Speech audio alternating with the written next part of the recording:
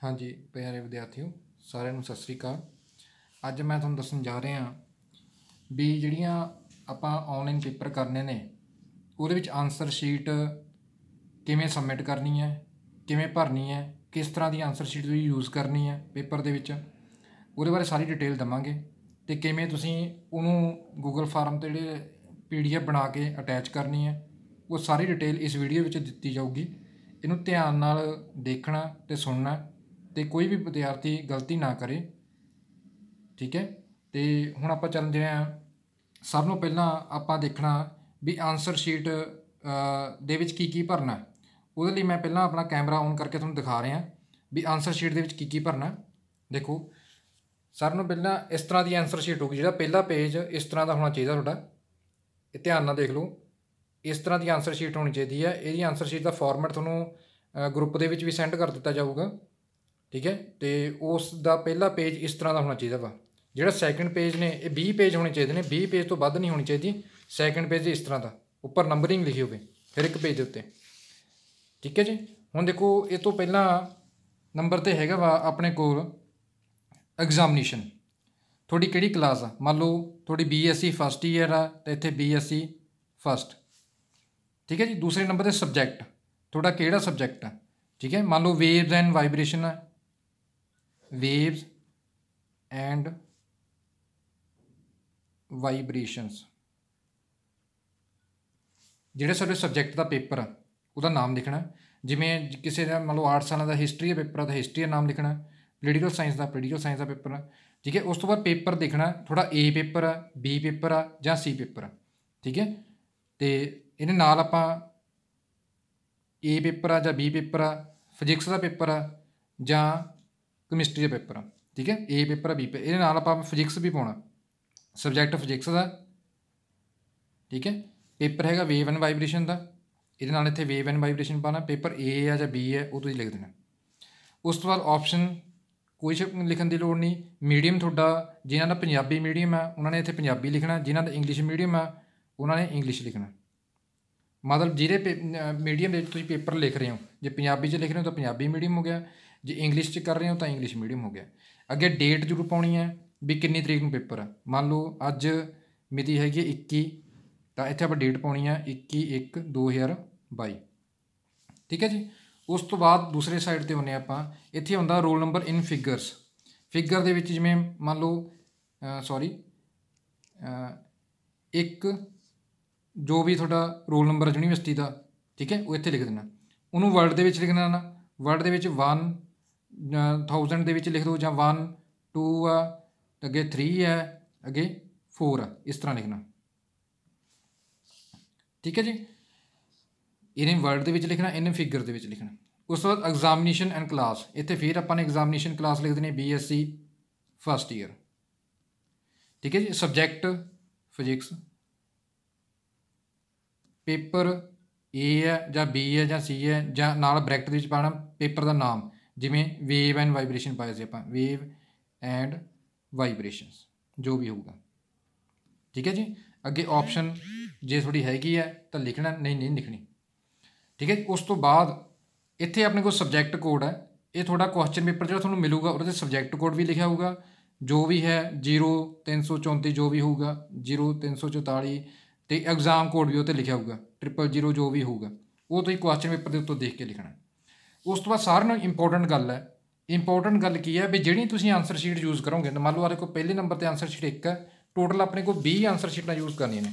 ਆ ਦੋ ਨੰਬਰ ਹੈ, ਠੀਕ ਹੈ, ਤੇ ਆ ਤਿੰਨ ਨੰਬਰ ਠੀਕ ਹੈ, ਜੋ ਵੀ ਹੋਊਗੀ। ਇਹ 20 ਤੱਕ ਨੇ। ਇਹਨਾਂ ਜਿੰਨੀਆਂ ਤੁਸੀਂ ਆਨਸਰ ਸ਼ੀਟਾਂ ਵਰਤੀਆਂ ਨੇ, ਜਿੰਨੀਆਂ ਤੁਸੀਂ ਲਾਈਆਂ ਨੇ, ਮੰਨ ਲਓ ਤੁਸੀਂ 18 ਆਨਸਰ ਸ਼ੀਟਾਂ ਵਰਤੀਆਂ ਨੇ। 18 19 20 ਨਹੀਂ ਆਪਾਂ ਵਰਤੀ ਹੈਗੀ, ਉਹ ਤੁਸੀਂ ਆਪਣੇ ਕੋਲ ਰੱਖਣੀ ਹੈ। ਜਿਹੜੀਆਂ ਤੁਸੀਂ ਅਟੈਚ ਕੀਤੀਆਂ, ਉਹ ਕਿੰਨੀਆਂ ਨੇ? 18 18 ਪੇਜ ਤੁਸੀਂ ਅਟੈਚ ਕੀਤੇ ਨੇ ਤਾਂ ਇੱਥੇ ਜ਼ਰੂਰ ਲਿਖਣਾ ਵੀ ਮੇਰੇ 18 ਪੇਜ ਨੇ। ਇਹ ਜ਼ਰੂਰੀ ਹੈ। 18 ਪੇਜ ਜਿੰਨੇ ਤੁਸੀਂ ਵਰਤੇ ਨੇ, ਉਹ ਇੱਥੇ ਜ਼ਰੂਰ ਲਿਖਣੇ ਨੇ ਵੀ ਮੈਂ 18 ਪੇਜ ਵਰਤੇ ਨੇ। ਤਾਂ ਹਰ ਇੱਕ ਪੇਜ ਦੇ ਉੱਤੇ ਨੰਬਰਿੰਗ ਪੈਣੀ ਜ਼ਰੂਰੀ ਹੈ। ਜਿਵੇਂ 1 ਇਦਾਂ ਹੀ ਦੂਜੇ ਨੰਬਰ ਤੇ 2 ਚਾਹੇ ਹੱਥ ਨਾਲ ਲਿਖ ਲਓ, ਚਾਹੇ ਪ੍ਰਿੰਟਿੰਗ ਕਢਵਾ ਲਓ। ਠੀਕ ਹੈ? ਇਸ ਤਰ੍ਹਾਂ 18 ਪੇਜ ਇਹ ਕਾਊਂਟਿੰਗ ਦੇ ਵਿੱਚ ਸੀਰੀ ਰੋਡ ਦੇ ਵਿੱਚ ਲੱਗੇ ਹੋਣੇ ਚਾਹੀਦੇ ਨੇ। ਇਹ ਚੀਜ਼ਾਂ ਬਹੁਤ ਜ਼ਰੂਰੀ ਨੇ। ਠੀਕ ਹੈ? ਜੇ ਤੁਸੀਂ ਇਹ ਚੀਜ਼ਾਂ ਨਹੀਂ ਲਿਖਦੇ ਤਾਂ ਤੁਹਾਡੀ ਤੁਹਾਡਾ ਰਿਜ਼ਲਟ ਇਸ ਤੇ ਡਿਪੈਂਡ ਕਰਦਾ। ਇਹ ਚੀਜ਼ਾਂ ਬਹੁਤ ਜ਼ਰੂਰੀ ਨੇ, ਇਹਨੂੰ ਚੰਗੀ ਤਰ੍ਹਾਂ ਸਮਝ ਲਓ। ਪੇਜ ਜ਼ਰੂਰ ਲਿਖਣੇ ਨੇ ਤੇ ਕਿਸੇ ਵੀ ਸ਼ੀਟ ਉੱਤੇ ਪਿਛਲੇ ਪਾਸੇ ਆਨਸਰ ਸ਼ੀਟ ਦੇ ਉੱਤੇ ਕਿਤੇ ਵੀ ਰੋਲ ਨੰਬਰ ਨਹੀਂ ਲਿਖਣਾ। ਸਿਰਫ ਪਹਿਲੀ ਸ਼ੀਟ ਦੇ ਉੱਤੇ ਹੀ ਰੋਲ ਨੰਬਰ ਲਿਖਣਾ ਸਭ ਨੇ। ਉਸ ਤੋਂ ਬਾਅਦ ਕਿਸੇ ਵੀ ਸ਼ੀਟ ਉੱਤੇ ਰੋਲ ਨੰਬਰ ਨਹੀਂ ਲਿਖਣਾ। ਠੀਕ ਹੈ? ਪਹਿਲੀ ਸ਼ੀਟ ਦੇ ਉੱਤੇ ਹੀ ਰੋਲ ਨੰਬਰ ਲਿਖਿਆ ਜਾਊਗਾ ਜਿੱਥੇ ਲਿਖਿਆ ਹੋਇਆ। ਹੈ ਉਸ ਵਾਸਤੇ ਸਿਰਫ ਨੰਬਰਿੰਗ ਜ਼ਰੂਰ ਪਾਉਣੀ ਹੈ। 1 2 3 4 5 ਠੀਕ ਹੈ? ਜਿੰਨੇ ਜਿੰਨੇ ਪੇਜ ਯੂਜ਼ ਹੋਏ ਸ਼ੀਟਾਂ ਯੂਜ਼ ਕੀਤੀਆਂ ਇੱਥੇ ਲਿਖਣੀਆਂ ਜ਼ਰੂਰ ਨੇ। ਇਹ ਸੀਗਾ ਆਪਣੇ ਕੋ ਵੀ ਆਪਾਂ ਕਿਸ ਤਰ੍ਹਾਂ ਆਨਸਰ ਸ਼ੀਟ ਭਰਨੀ ਹੈ।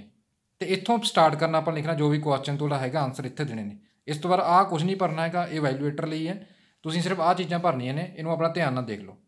ਉਸ ਤੋਂ ਬਾਅਦ ਆਪਾਂ ਚੱਲਦੇ ਆਂ ਵੀ ਜਿਹੜੀ ਇਹ ਆਨਸਰ ਸ਼ੀਟ ਹੈ, ਇਹਨੂੰ ਆਪਾਂ ਪੀਡੀਐਫ ਕਿਵੇਂ ਬਣਾਉਣੀ ਹੈ। ਪੀਡੀਐਫ ਬਣਾ ਕੇ ਆਪਾਂ ਲਿੰਕ ਤੇ ਅਟੈਚ ਕਿਵੇਂ ਕਰਨੀ ਹੈ। ਠੀਕ ਹੈ, ਇਹਨੂੰ ਆਪਾਂ ਬੰਦ ਕਰਦੇ ਹਾਂ ਕੈਮਰੇ ਨੂੰ। ਹੁਣ ਮੈਂ ਤੁਹਾਨੂੰ ਦੱਸ ਰਿਹਾ ਵੀ ਜਿਹੜੀ ਇਹ ਤੁਹਾਨੂੰ ਹਰ ਰੋਜ਼ WhatsApp ਗਰੁੱਪ ਜਿਹੜੇ ਤੁਹਾਡੇ ਬਣੇ ਨੇ, ਉਹਦੇ ਵਿੱਚ ਇੱਕ ਲਿੰਕ ਭੇਜਿਆ ਜਾਊਗਾ। ਆਨਸਰ ਸ਼ੀਟ ਸਬਮਿਟ ਸਬਮਿਟ ਕਰਨ। ਲਈ ਗੂਗਲ ਫਾਰਮ ਦਾ ਲਿੰਕ ਭੇਜਿਆ ਜਾਊਗਾ। ਉਹਦੇ ਵਿੱਚ ਤੁਸੀਂ ਆਪਣਾ ਨਾਮ ਭਰੋਗੇ ਤੇ father name ਭਰੋਗੇ university roll number college roll number ਠੀਕ ਹੈ, ਤੇ ਮੋਬਾਈਲ ਨੰਬਰ ਜਿਹੜਾ ਤੁਹਾਡਾ ਚੱਲਦਾ। ਉਸ ਤੋਂ ਬਾਅਦ ਥੱਲੇ ਇੱਕ ਕਾਲਮ ਬਣਿਆ ਹੋਊਗਾ ਅਟੈਚ ਵੀ ਇਹਨੂੰ ਤੁਹਾਡਾ ਸਬਜੈਕਟ ਕਿਹੜਾ, ਉਹ ਭਰ ਦੇਣਾ। ਤੁਹਾਡਾ ਪੇਪਰ ਦਾ ਨਾਮ ਭਰ ਦੇਣਾ, ਉਹ ਤੋਂ ਸਿਲੈਕਟ ਕਰ ਲੈਣਾ। ਉਸ ਤੋਂ ਬਾਅਦ ਤੁਹਾਡਾ ਨੀਚੇ ਆਊਗਾ ਅਟੈਚ ਫਾਈਲ ਆਨਸਰ ਸ਼ੀਟ ਜਿੱਥੇ ਤੁਸੀਂ ਅਟੈਚ ਕਰਨੀ ਹੈ। ਉੱਥੇ ਜਾ ਕੇ ਤੁਸੀਂ ਪੀਡੀਐਫ ਫਾਈਲ ਅਟੈਚ ਕਰਨੀ ਹੈ। ਹੁਣ ਪੀਡੀਐਫ ਫਾਈਲ ਕਿਵੇਂ ਅਟੈਚ ਕਰਨੀ ਹੈ? ਉਹਦੇ ਲਈ ਮੈਂ ਤੁਹਾਨੂੰ ਦੱਸਦਾ ਵੀ ਪੀਡੀਐਫ ਬਣਾਉਣੀ ਕਿਵੇਂ ਹੈ। ਉਹਦੇ ਲਈ ਸਾਰੇ ਬੱਚਿਆਂ ਨੇ ਇੱਕ ਹੀ ਪੀਡੀਐਫ ਸਕੈਨਰ ਆ। ਆ ਦੇਖੋ ਮੇਰਾ ਸਕਰੀਨ ਤੇ ਦੇਖੋ। ਆਹ ਵਾਲਾ ਪੀਡੀਐਫ ਸਕੈਨਰ। ਨੀਚੋ ਦੂਜੇ ਨੰਬਰ ਤੇ। ਮੈਂ ਤੁਹਾਨੂੰ ਮਾਰਕਰ ਦੇ ਨਾਲ ਵੀ ਸ਼ੋਅ ਕਰ ਦਿੰਦਾ। ਆਹ ਵਾਲਾ। ਇਹ PDF scanner Google Play Store ਤੋਂ ਤੁਸੀਂ ਡਾਊਨਲੋਡ ਕਰ ਲੈਣਾ। ਇਹਦੇ ਨਾਲ ਹੀ ਸਕੈਨ ਕਰਨੀਆਂ ਨੇ ਕਿਉਂਕਿ ਇਹ ਬਹੁਤ ਵਧੀਆ ਤੇ ਥੋੜੀ ਜਿਹੜੀ ਆਪਣੀ ਆਨਸਰ ਸ਼ੀਟ ਦੀ ਕਲੈਰਿਟੀ ਵਧੀਆ ਪ੍ਰਿੰਟਿੰਗ ਵਧੀਆ ਹੁੰਦੀ ਹੈ, ਜਿੰਨਾ ਥੋੜੇ ਨੰਬਰ ਵਧੀਆ ਲੱਗ ਸਕਦੇ ਨੇ ਪੜਨ ਯੋਗ ਹੁੰਦੀ ਹੈ। ਕਿਰਪਾ ਕਰਕੇ ਸਾਰੇ ਬੱਚਿਆਂ ਨੇ ਪੀਡੀਐਫ ਸਕੈਨਰ ਦੇ ਨਾਲ ਹੀ ਆਪਣੀ ਸ਼ੀਟ ਪੀਡੀਐਫ ਬਣਾਉਣੀ ਹੈ। ਹੁਣ ਕਿਵੇਂ ਬਣਾਉਣੀ ਹੈ, ਉਹ ਮੈਂ ਤੁਹਾਨੂੰ ਦੱਸ ਰਿਹਾ। ਇਹਨੂੰ ਪੀਡੀਐਫ ਸਕੈਨਰ ਨੂੰ ਆਪਾਂ ਨੇ ਕਲਿੱਕ ਕਰਨਾ। ਠੀਕ ਹੈ ਜੀ? ਇਸ ਤਰ੍ਹਾਂ ਓਪਨ ਹੋ ਜਾਂਦਾ। ਆ ਮੈਂ ਪਹਿਲਾਂ ਸ਼ੀਟ ਕੋਈ ਬਣਾਈ ਹੋਈ ਹੈ, ਇਹਨੂੰ ਮੈਂ ਡਿਲੀਟ ਕਰਦਾ ਹੁਣ ਕੀ ਕਰਨਾ ਆ ਨੀਚੇ ਇੱਕ, ਮੈਂ ਤੁਹਾਨੂੰ ਦੱਸ ਰਿਹਾ, ਇੱਕ ਆ ਨੀਚੇ ਕੈਮਰੇ ਦਾ ਬਟਨ ਹੈ। ਨੀਚਾ ਨੀਲੇ ਰੰਗ ਦਾ ਕੈਮਰੇ ਦਾ ਬਟਨ ਲੱਗਿਆ ਹੋਇਆ, ਮੈਨੂੰ ਮਾਰਕ ਕਰਨਾ, ਮੈਂ ਤੁਹਾਨੂੰ ਸ਼ੋਅ ਕਰ ਦਿੰਦਾ ਆ ਵਾਲਾ। ਠੀਕ ਹੈ? ਇਹ ਤੇ ਕਲਿੱਕ ਕਰਨਾ। ਜਦੋਂ ਇਹ ਤੇ ਕਲਿੱਕ ਕਰੋਗੇ ਤਾਂ ਕੈਮਰਾ ਥੋੜਾ ਖੁੱਲ ਜਾਊਗਾ। ਇਸ ਤਰ੍ਹਾਂ ਤੁਸੀਂ ਪਹਿਲਾ ਪੇਜ ਜਿਹੜਾ ਆਨਸਰ ਸ਼ੀਟ ਦਾ, ਉਹ ਇਦਾਂ ਸਕੈਨ ਕਰਨਾ ਫੋਟੋ ਖਿੱਚ ਲੈਣੀ ਹੈ। ਠੀਕ ਹੈ ਜੀ? ਚੱਲ ਗਿਆ ਆ ਨੀਚਲੇ ਪਾਸੇ ਆ ਗਿਆ ਆਈਕਨ ਬਣ ਕੇ ਵੀ ਇੱਕ ਸ਼ੀਟ ਥੋੜੀ ਕੰਪਲੀਟ ਸਕੈਨ ਹੋ ਚੁੱਕੀ ਹੈ। ਉਸ ਤੋਂ ਬਾਅਦ ਆਪਾਂ ਦੂਸਰਾ ਪੇਜ ਸਕੈਨ ਕਰਨਾ, ਇਹਨੂੰ ਫੋਟੋ ਖਿੱਚ ਲੈਣੀ ਹੈ। ਦੇਖੋ, ਹੁਣ ਇੱਥੇ ਦੋ ਪੇਜ ਹੋ ਗਏ ਨੀਚੇ, ਲਾਲ ਜਾਂ ਰੈੱਡ ਰੈੱਡ ਕਲਰ ਦਾ ਆਈਕਨ ਬਣ ਕੇ ਆ ਗਿਆ। ਹੁਣ ਜਿੰਨੇ ਤੁਹਾਡੇ ਪੇਜ ਨੇ ਇਦਾਂ ਫੋਟੋ ਇਹ ਬਹੁਤ ਸਿੰਪਲ ਤਰੀਕਾ ਵਾ ਥੋੜੀ ਪੀਡੀਐਫ ਬਣਾਉਣ ਦਾ। ਹੁਣ ਜਿੰਨੇ ਪੇਜ ਨੇ ਤੁਸੀਂ, ਠੀਕ ਹੈ, ਉਹ ਇਦਾਂ ਸਕੈਨ ਕਰ ਲੈਣੇ ਨੇ 2 3 ਜਿੰਨੇ ਵੀ 10 12 ਜਿੰਨੇ 18 ਪੇਜ ਲਾਏ ਨੇ, ਉਹ ਸਾਰੇ ਇਦਾਂ ਸਕੈਨ ਹੋਣਗੇ ਉਸ ਤੋਂ ਬਾਅਦ ਤੁਸੀਂ ਕੀ ਕਰਨਾ, ਇਸ ਜਿਹੜਾ ਆਈਕਨ ਹੈ ਜਿਹੜਾ ਆਪਣਾ ਬਣਿਆ ਹੈ ਇਹਦੇ ਉੱਤੇ ਕਲਿੱਕ ਕਰਨਾ। ਠੀਕ ਹੈ ਜੀ? ਇਹਦੇ ਉੱਤੇ ਮੈਂ ਕਲਿੱਕ ਕਰਦਾ ਜਿੱਥੇ ਆ ਦੋ ਲਿਖ ਕੇ ਆਇਆ, ਇਹਦੇ ਉੱਤੇ ਕਲਿੱਕ ਕਰਤਾ, ਤਾਂ ਇਸ ਤਰ੍ਹਾਂ ਖੁੱਲ ਜਾਊਗਾ। ਇਸ ਤੋਂ ਬਾਅਦ ਤੁਹਾਨੂੰ ਇਹ ਸ਼ੋਅ ਕਰ ਰਿਹਾ ਜਿਹੜਾ ਸਾਈਡਾਂ ਦੇ ਬਾਰਡਰ ਲਾਈਨ ਜੀ ਹੈ, ਇਹ ਸ਼ੋਅ ਕਰ ਰਹੀ ਹੈ ਵੀ ਤੁਸੀਂ ਕਿੰਨੀ ਕੁ ਸਕੀਇੰਗ ਜਿਵੇਂ ਦੇਖੋ ਆ ਮੇਰਾ ਬੈਂਚ ਵਿੱਚ ਆ ਰਿਹਾ, ਤਾਂ ਮੈਂ ਬੈਂਚ ਨੂੰ ਕੱਟ ਕਰ ਦੂੰਗਾ ਇੱਥੋਂ ਇੱਥੋਂ ਹਿਲਾ ਕੇ ਸਰਕਲ ਉਂਗਲੀ ਲਿਆ ਕੇ, ਜਿਵੇਂ ਜਿੱਥੇ ਮੈਂ ਉਂਗਲੀ ਲੈ ਕੇ ਜਾਊਂਗਾ, ਇਹਨੂੰ ਮੈਂ ਛੋਟਾ ਵੱਡਾ ਕਰ ਸਕਦਾ। ਠੀਕ ਹੈ, ਇਸੇ ਤਰ੍ਹਾਂ ਹੁਣ ਮੈਂ ਦੇਖੋ ਨੀਚੇ ਐਰੋ ਆ ਰਿਹਾ, ਇਹ ਪਹਿਲਾ ਪੇਜ ਸੈੱਟ ਹੋ ਗਿਆ ਮੰਨ ਲਓ, ਮੈਂ ਜਿਹੜਾ ਬੈਂਚ ਸੀਗਾ ਫਾਲਤੂ ਆਹ, ਇਹ ਮੈਂ ਕੱਟਤਾ, ਇੱਥੇ ਲਿਆ ਠੀਕ ਹੈ ਹੁਣ ਮੈਂ ਸੈਕੰਡ ਪੇਜ ਕਰ ਲਿਆ। ਸੈਕੰਡ ਪੇਜ ਤੇ ਕਿਰ ਕਰਕੇ ਜਿੰਨਾ ਕਿ ਮੈਨੂੰ ਪੇਜ ਚਾਹੀਦਾ ਵਾ ਠੀਕ ਹੈ, ਜਿੰਨਾ ਕੁ ਪੇਜ ਹੈਗਾ ਆ ਫਾਲਤੂ ਜਿਹੜੀ ਉੱਪਰਲੇ ਬੈਂਚ ਦੀ ਜਾਂ ਥੋੜੀ ਚਾਦਰ ਜੋ ਵੀ ਆਊਗਾ, ਉਹਨੂੰ ਆਪਾਂ ਕੱਟ ਕਰ ਦੇਣਾ ਕ੍ਰੌਪ ਕਰ ਦੇਣਾ। ਇਹ ਸੈਕੰਡ ਪੇਜ ਵੀ ਹੋ ਗਿਆ ਇਦਾਂ ਹੀ ਆਪਾਂ ਨੈਕਸਟ ਕਰੀ ਜਾਵਾਂਗੇ ਥਰਡ ਪੇਜ ਹੋ ਜੂ ਫੋਰਥ ਪੇਜ ਜਿੰਨੇ ਤੁਹਾਡੇ ਪੇਜ ਨੇ ਉਹ ਸਾਰਿਆਂ ਨੂੰ ਇਦਾਂ ਸਿਲੈਕਟ ਕਰ ਲੈਣਾ। ਉਸ ਤੋਂ ਬਾਅਦ ਨੀਚੇ ਆ ਜਾਣਾ ਡਨ ਦੀ ਆਪਸ਼ਨ ਹੈ ਨੀਚੇ ਦੇਖੋ, ਲਿਖਿਆ ਹੈ ਟਿਕ ਮਾਰ ਕੇ ਤੇ ਡਨ ਜਦੋਂ ਤੁਸੀਂ ਡਨ ਤੇ ਕਲਿੱਕ ਕਰੋਗੇ, ਸਾਰੇ ਪੇਜ ਜਿਹੜੇ ਤੁਹਾਡੇ ਸਕੈਨ ਹੋ ਗਏ, ਤਾਂ ਇਸ ਤਰ੍ਹਾਂ ਦਾ ਇੱਕ ਬਣ ਜਾਊਗਾ। ਉਸ ਤੋਂ ਬਾਅਦ ਇਹ ਤਿੰਨ ਚਾਰ ਆਪਸ਼ਨ ਆਉਂਦੇ ਨੇ ਨੀਚੇ, ਧਿਆਨ ਰੱਖਣਾ। ਤਾਂ ਆਪਾਂ ਸਿਰਫ ਦੂਜੀ ਆਪਸ਼ਨ ਤੇ ਹੀ ਕਲਿੱਕ ਕਰਨਾ ਮੈਜਿਕ ਵਨ ਤੇ। ਮੈਂ ਤੁਹਾਨੂੰ ਮਾਰਕਰ ਨਾਲ ਸ਼ੋਅ ਕਰਨਾ ਕਿਤੇ ਸ਼ੋਅ ਕਰਨਾ? ਆਹ ਵਾਲੀ ਤੇ, ਆਹ ਵਾਲੀ ਤੇ। ਮੈਜਿਕ ਤੇ ਹੀ ਕਲਿੱਕ ਕਰਨਾ ਤਾਂ ਕਿ ਥੋੜੀ ਜਿਹੀ ਜਿਹੜੀ ਪ੍ਰਿੰਟਿੰਗ ਕੁਆਲਿਟੀ ਹੈ, ਉਹ ਵਧੀਆ ਆਵੇ। ਤਾਂ ਆਪਾਂ ਹੁਣ ਕੀ ਕੀਤਾ? ਮੈਂ ਮੈਜਿਕ ਤੇ ਜੋ ਕਲਿੱਕ ਕਰੂੰਗਾ, ਠੀਕ ਹੈ, ਦੇਖੋ, ਪਹਿਲਾ ਪੇਜ ਹੋ ਗਿਆ, ਹੁਣ ਮੈਂ ਦੂਸਰਾ ਪੇਜ ਕਰਨਾ। ਦੂਸਰੇ ਪੇਜ ਤੇ ਫੇਰ ਕਲਿੱਕ ਕਰਕੇ, ਫਿਰ ਮੈਂ ਇਹਨੂੰ ਕਿਤੇ ਕਰੂੰਗਾ? ਮੈਜਿਕ ਤੇ। ਫਿਰ ਤੀਸਰਾ ਪੇਜ ਇਦਾਂ ਹੀ ਸਾਰੇ ਜਿਹੜੇ ਪੇਜ ਨੇ ਤੁਸੀਂ, ਉਹਨੂੰ ਮੈਜਿਕ ਤੇ ਕਲਿੱਕ ਕਰ ਲੈਣਾ। ਕਲਿੱਕ ਕਰ ਲਿਆ, ਉਸ ਤੋਂ ਬਾਅਦ ਨੀਚੇ ਆ ਜਾਂਦਾ ਸੇਵ ਆਲ ਜਿੰਨੇ ਤੁਹਾਡੇ 18 ਪੇਜ ਹੋਣਗੇ 20 ਪੇਜ ਹੋਣਗੇ ਉਹਨਾਂ ਸਾਰਿਆਂ ਨੂੰ ਕਲਿੱਕ ਕਰ ਦੇਣਾ ਸੇਵ ਆਲ ਤੇ। ਮੈਂ ਤਾਂ ਸੇਵ ਆਲ ਤੇ ਥੱਲੇ ਬਟਨ ਤੇ ਮੈਂ ਦੁਬਾਰਾ ਮਾਰਕਰ ਨਾਲ ਦਿਖਾਉਣਾ ਆ ਵਾ ਸੇਵ ਆਲ ਦਾ ਬਟਨ ਠੀਕ ਹੈ, ਇਹ ਤੇ ਕਲਿੱਕ ਕਰ ਦੇਣਾ। ਜਦੋਂ ਸੇਵ ਕਰੋਗੇ ਤਾਂ ਪੁੱਛੂਗਾ ਵੀ ਤੁਸੀਂ ਪੀਡੀਐਫ ਸਕੈਨ ਕਰਨੀ ਪੀਡੀਐਫ ਬਣਾਉਣੀ ਹੈ ਜਾਂ ਤੁਸੀਂ ਜੇਪੀਜੀ ਫਾਈਲ ਬਣਾਉਣੀ ਹੈ। ਆਪਾਂ ਬਣਾਉਣੀ ਹੈ ਪੀਡੀਐਫ ਤੇ ਪਹਿਲੇ ਤੇ ਕਲਿੱਕ ਹੋਣਾ ਚਾਹੀਦਾ। ਦੇਖੋ, ਪਹਿਲੇ ਆਈਕਨ ਤੇ ਕਲਿੱਕ ਹੋਇਆ ਮੈਂ ਤੁਹਾਨੂੰ ਮਾਰਕਰ ਨਾਲ ਦਿਖਾਉਣਾ। ਆ ਦੇਖੋ, ਠੀਕ ਹੈ ਪੀਡੀਐਫ ਹੈ। ਉਸ ਤੋਂ ਬਾਅਦ ਇਹਦਾ ਨਾਮ ਵੀ ਆਪਾਂ ਸੇਵ ਕਰਨਾ। ਠੀਕ ਹੈ ਜੀ? ਇਹ ਪੇਪਰ ਦਾ ਨਾਮ ਕੀ ਸੀ? ਇਹ ਆਪਾਂ ਹੁਣ ਦੇਖਣਾ ਦੇਖੋ। ਮੈਂ ਕੀ ਕਰਨਾ, ਇੱਥੋਂ ਪੈਨਸਲ ਕਲਿੱਕ ਕੀਤੀ। ਇਸ ਤੋਂ ਬਾਅਦ ਆਪਣਾ ਕੀਪੈਡ ਖੁੱਲ ਗਿਆ। ਇੱਥੇ ਮੈਂ ਲਿਖਣਾ, ਇਹ ਹੈਗਾ ਮੇਰਾ paper physics the. P H Y S I C S physics the paper ਮੰਨ ਲਓ ਏ ਹੈ, ਤਾਂ ਕਿੰਨੀ ਤਰੀਕ ਹੈ ਮੰਨ ਲਓ ਅੱਜ 21 ਤਰੀਕ ਹੈ। 21 ਡਾਟ 0 1 ਜਨਵਰੀ ਡਾਟ 2022 ਇਹਦਾ ਮਤਲਬ ਇਹ ਹੈ ਇੱਥੇ ਕੈਪੀਟਲ ਏ ਪਾ ਲਓ ਚਾਹੇ। ਮਤਲਬ ਥੋੜਾ ਜਿਹਾ ਇਹ ਜ਼ਰੂਰੀ ਹੈ। ਹੁਣ ਦੇਖੋ, ਇਹਨੂੰ ਪੇਪਰ ਨੂੰ ਉਸ ਨਾਮ ਦੇ ਨਾਲ ਹੀ ਸੇਵ ਕਰਨਾ। ਨਹੀਂ ਕੀ ਹੋਊਗਾ, ਜਿਵੇਂ ਮੰਨ ਲਓ ਤੁਹਾਡੇ ਪੇਪਰ ਅੱਜ ਕੱਲ੍ਹ ਨੂੰ ਹਿਸਟਰੀ ਦਾ ਪੋਲੀਟੀਕਲ ਸਾਇੰਸ ਦਾ, ਤਾਂ ਤੁਸੀਂ ਪੋਲੀਟੀਕਲ ਸਾਇੰਸ ਦੀ ਜਗ੍ਹਾ ਤੇ ਹਿਸਟਰੀ ਅਟੈਚ ਕਰ ਦੋਗੇ। ਤਾਂ ਤੁਹਾਡੀ ਕੰਪਾਰਟਮੈਂਟ ਬਣ ਜੂ। ਜਾਂ ਕੈਮਿਸਟਰੀ ਦੀ ਜਗ੍ਹਾ ਤੇ ਫਿਜ਼ਿਕਸ ਦਾ ਅਟੈਚ ਕਰ ਦੋਗੇ। ਠੀਕ ਹੈ, ਕਿਉਂਕਿ ਆਪਾਂ ਨੂੰ ਨਹੀਂ ਪਤਾ ਹੁੰਦਾ ਫਾਈਲ ਦੇ ਵਿੱਚ ਕਿਹੜਾ, ਕਿਉਂਕਿ ਤੁਸੀਂ ਮੋਬਾਈਲ 'ਚ ਸੇਵ ਰੱਖਣੀਆਂ ਨੇ। ਵੈਸੇ ਤਾਂ ਕੋਸ਼ਿਸ਼ ਇਹ ਕਰੋ, ਜਦੋਂ ਤੁਸੀਂ ਇਹ ਫਾਈਲ ਪੀਡੀਐਫ ਬਣਾ ਲਈ, ਤੇ ਇਹ ਜਦੋਂ ਸੈਂਡ ਕਰਤੀ, ਉਸ ਤੋਂ ਬਾਅਦ ਇਹਨੂੰ ਮੋਬਾਈਲ 'ਚੋਂ ਡਿਲੀਟ ਕਰ ਦਿਓ, ਤਾਂ ਕਿ ਅਗਲੀ ਵਾਰ ਜਿਹੜੇ ਪੇਪਰ ਹੋਣੇ ਨੇ, ਉਹਦੇ ਵਿੱਚ ਗਲਤੀ ਨਾ ਹੋਵੇ। ਹੁਣ ਮੈਨੂੰ ਫਿਜ਼ਿਕਸ ਏ ਪੇਪਰ ਲਿਖ ਲਿਆ, ਇਹਨੂੰ ਮੈਂ ਸੇਵ ਕਰ ਦਿੰਦਾ ਦੇਖੋ ਡਾਕੂਮੈਂਟ ਪ੍ਰੋਸੈਸਿੰਗ ਹੋਣੀ ਸ਼ੁਰੂ ਹੋ ਗਈ, ਇਹ ਸੇਵ ਹੋਣਾ ਸ਼ੁਰੂ ਹੋ ਗਿਆ।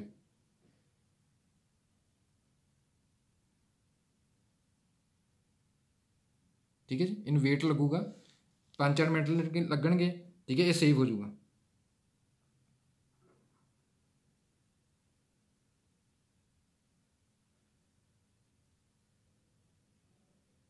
ਠੀਕ ਹੈ ਜੀ?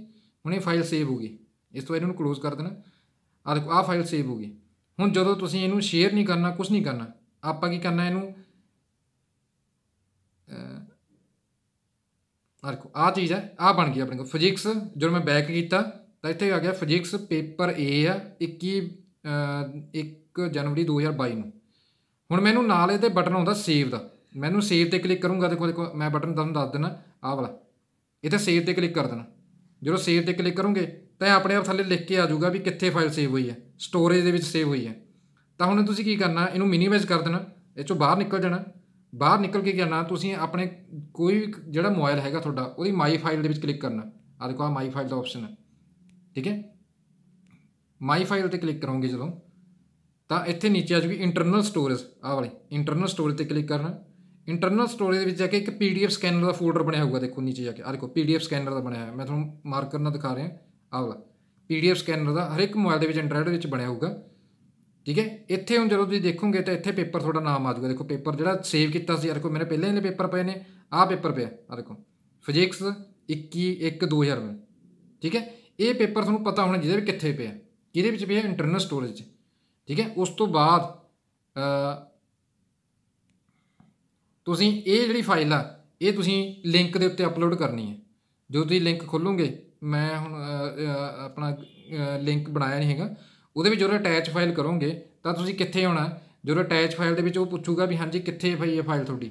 ਠੀਕ ਹੈ? ਤਾਂ ਤੁਸੀਂ ਮਾਈ ਇੱਥੇ ਮਾਈ ਫਾਈਲ 'ਚ ਜਾਣਾ ਇੰਟਰਨਲ ਸਟੋਰੇਜ 'ਚ ਜਾਣਾ ਇੰਟਰਨਲ ਸਟੋਰੇਜ ਤੋਂ ਬਾਅਦ ਪੀਡੀਐਫ ਸਕੈਨਰ ਦੇ ਵਿੱਚ ਜਾਣਾ। ਪੀਡੀਐਫ ਸਕੈਨਰ ਵਿੱਚ ਜਿਹੜੀ ਫਾਈਲ ਹੈਗੀ ਆ, ਉਹਨੂੰ ਤੁਸੀਂ ਸਿਲੈਕਟ ਕਰ ਲੈਣਾ। ਤਾਂ ਉਹ ਫਾਈਲ ਜਿਹੜੀ ਹੈ, ਉਹ ਉੱਥੇ ਅਟੈਚ ਹੋਣੀ ਸ਼ੁਰੂ ਹੋ ਜੂਗੀ। ਠੀਕ ਹੈ? ਤੇ ਅਟੈਚ ਕਰਨ ਤੋਂ ਬਾਅਦ ਤੁਸੀਂ ਉਹਨੂੰ ਸਬਮਿਟ ਕਰ ਦੇਣਾ ਤੇ ਉਹ ਸਾਡੇ ਕੋਲ ਪਹੁੰਚ ਜੂਗੀ। ਠੀਕ ਹੈ? ਇਹ ਸੀਗਾ ਤੁਹਾਡਾ ਆਪਣਾ ਵੀ ਤੁਸੀਂ ਪੀਡੀਐਫ ਕਿਵੇਂ ਬਣਾਉਣੀ ਹੈ ਤੇ ਆਨਸਰ ਸ਼ੀਟ ਤੇ ਕੀ ਕੀ ਲਿਖਣਾ। ਇਹਨੂੰ ਧਿਆਨ ਨਾਲ ਦੇਖ ਲਓ। ਇਹੀ ਆਨਸਰ ਸ਼ੀਟ ਹੋਣੀ ਚਾਹੀਦੀ ਹੈ। ਕਿਸੇ ਬਾਕੀ ਸ਼ੀਟ ਤੇ ਜੋ ਤੁਹਾਨੂੰ ਇਨਸਟਰਕਸ਼ਨ ਦਿੱਤੀਆਂ ਨੇ, ਉਹੀ ਫੋਲੋ ਕਰਨੀਆਂ ਨੇ। ਕਿਸੇ ਹੋਰ ਸ਼ੀਟ ਦੇ ਉੱਤੇ ਰੋਲ ਨੰਬਰ ਨਹੀਂ ਲਿਖਣਾ। ਪਹਿਲੇ ਪੇਜ ਦੇ ਉੱਤੇ ਰੋਲ ਨੰਬਰ ਲਿਖਣਾ ਤੇ ਆ ਜਿਹੜੀਆਂ ਉੱਪਰ ਇਨਸਟਰਕਸ਼ਨ ਨੇ, ਇਹਨੂੰ ਜਿਹੜੀਆਂ ਆਪਣਾ ਥੋੜੇ ਕਾਲਮ ਨੇ, ਇਹਨੂੰ ਚੰਗੀ ਤਰ੍ਹਾਂ ਭਰਨਾ। ਠੀਕ ਹੈ? ਇਹ 'ਚ ਕੋਈ ਗਲਤੀ ਨਹੀਂ ਹੋਣੀ ਚਾਹੀਦੀ। ਠੀਕ ਹੈ? ਜੇ ਕੋਈ ਪ੍ਰੋਬਲਮ ਹੈਗੀ ਹੈ ਵੀ ਅੱਗੇ ਫਾਈਲ ਕਿਵੇਂ ਅਟੈਚ ਕਰਨੀ ਹੈ, ਤਾਂ ਉਹਦੇ ਲਈ ਇੱਕ ਹੋਰ ਵੀਡੀਓ ਬਣਾਵਾਂਗੇ। ਠੀਕ ਹੈ, ਉਹ ਤੁਸੀਂ ਦੇਖ ਸਕਦੇ ਹੋ। ਲਿੰਕ ਦੇ ਵਿੱਚ ਕਿਵੇਂ ਅਟੈਚ ਕਰਨੀ ਹੈ। ਧੰਨਵਾਦ।